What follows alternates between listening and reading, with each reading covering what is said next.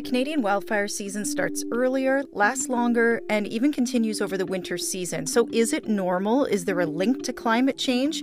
We put Dr. Mike Flannigan's feet to the fire, so to say, and clear up any myths and misconceptions. Myth or truth? Fires are natural. It's just a cycle. We've always had fires, and more area has burned in the past, right? Fire's natural in our environment. Our forests have grown to survive and thrive in regime of semi-regular, high-intensity, stand-replacing, stand-renewing fire. We are seeing a lot more fire in Canada, and you talk to people who fight fire, and they say, it's changed during my career. Myth or truth? Fires are not linked to climate change. A warming world does not cause fires. We've always been hot and dry.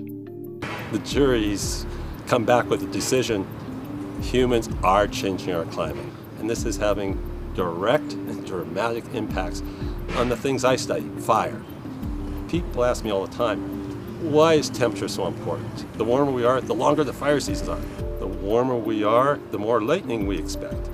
As the atmosphere warms, the ability to suck moisture out of the vegetation, fire people call that fuel, increases almost exponentially.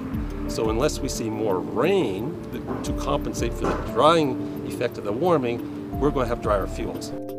Myth or truth, fires can be blamed on people only. Arsonists cause wildfires. Lightning doesn't cause that many fires. Or does it? Humans cause about half the fires in Canada. Things like power lines cause fires, railways cause fires, burning fields, campfires, burning the garbage. Arson is one of them.